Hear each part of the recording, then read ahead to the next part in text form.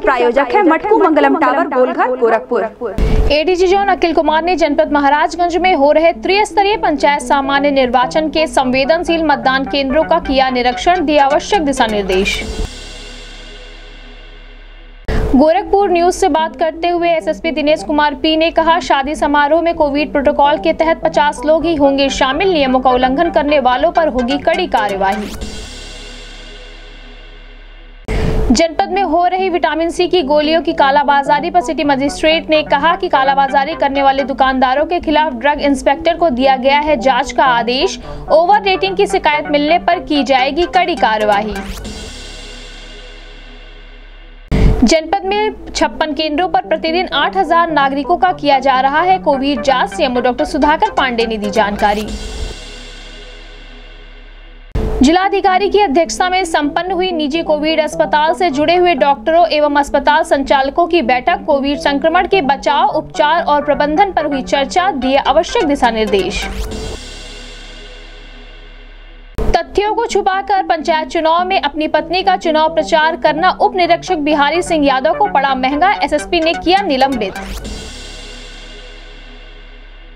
Video conferencing के माध्यम से अपर मुख्य सचिव ने कोरोना संक्रमण की रोकथाम के संबंध में स्वास्थ्य विभाग के संबंधित अधिकारियों के साथ की समीक्षा, कहा, आइसोलेट मरीजों के स्वास्थ्य के साथ वैक्सीनेशन पर दिया जाए ज़ोर।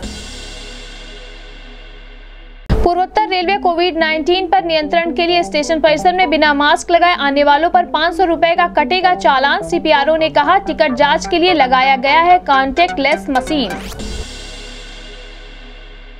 आरपीएफ की महिला सब इंस्पेक्टर ने दिया मानवता का परिचय। रेलवे स्टेशन परिसर में महिला का कराया प्रसव। पीड़ित महिला ने दिया आश्वासन, कहा, अपनी बच्ची को पढ़ा लिखा कर बनाऊँगी आप जैसा।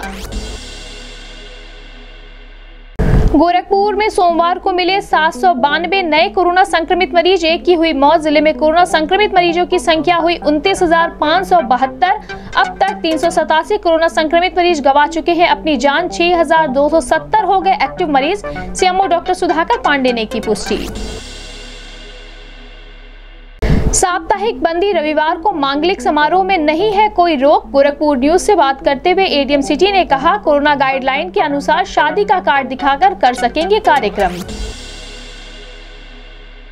होम आइसोलेशन के संक्रमित मरीजों के लिए सीएमओ डॉक्टर सुधाकर पांडे ने दी जानकारी, कहा रेगुलर ऑक्सीजन लेवल का कराते रहे जाँच। घर के अन्य सदस्यों से रहे दूर। किसी भी तरह की समस्या होने पर ले चिकित्सक की सलाह। रेलवे प्रशासन और राज्य सरकार के सहयोग से बाहर से आने वाले यात्रियों का स्टेशन परिसर में किया जा रहा है कोविड का जाँच। नाइट कर्फ्यू को देखते हुए रेलवे ने राज्य परिवहन निगम को स्टेशन परिसर में दिया स्थान। सीपीआरओ ने दी जानकारी।